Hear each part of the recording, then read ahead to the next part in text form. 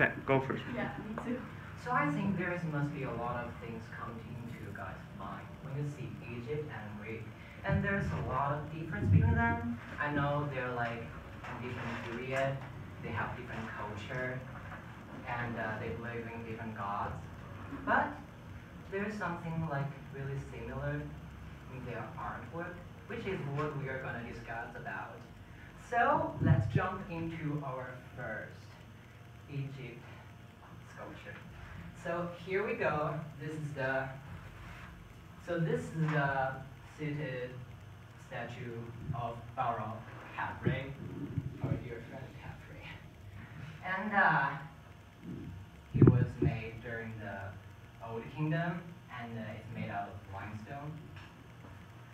So, mm, and it has a funerary function, which is a general, really general function for the pharaoh statue. And uh, I think the seated mm, Khafre statue is the most traditional one for pharaoh statue. And now let's take a closer look to the statue, okay? So let's look at his face. His face is so idealized, don't you think?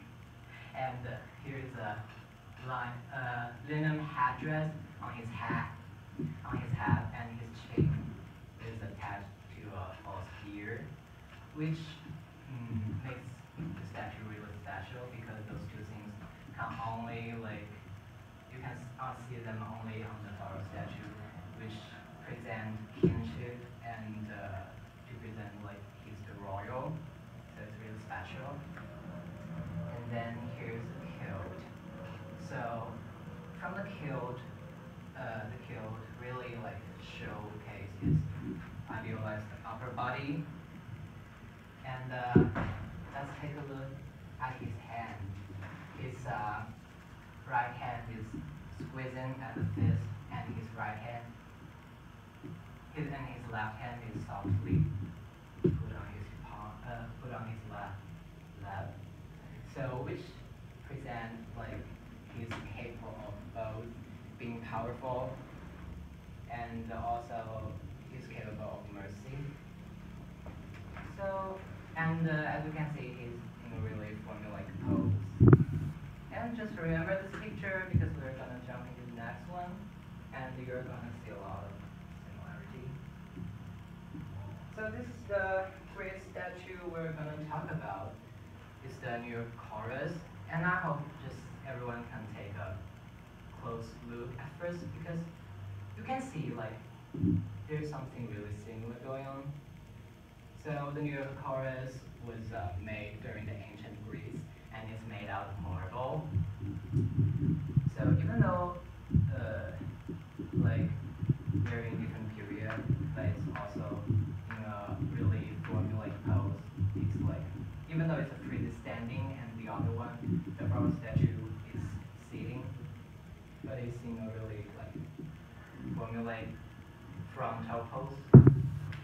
And uh, as you can see, his face and his body are also really idealized. It's not like a real human being. It's really perfect. And uh, but there's and there's something like different between them also, because it also has a funerary function, but at the same time it can be a votive offering for the statuary. So which makes it like different. And uh, as you can see, uh, he's nude. He, didn't, he didn't, he doesn't wear a kilt. He's nude except he's wearing a choker necklace, which makes it like indistinguishable from the other Greek god statue, statue because they they all showcase their perfect idealized body and their nude. So uh, from the and there's also something going on with the with his gesture because as you can see, his left hand and the legs are slightly forward, and the other side is slightly by backwards, which means like the Greece Greek people was trying to make it like more in motion. Uh, so even though they made it like a little bit stiff, but they were trying to make it like emotion. So it's something that's different. So what we can tell by comparing these two statues, which is the influence. So as we compare the statue, we can tell that Egypt artwork sculpture really had a strong influence towards Greece ancient sculpture. And that's it. Thank you guys. Any questions any comments?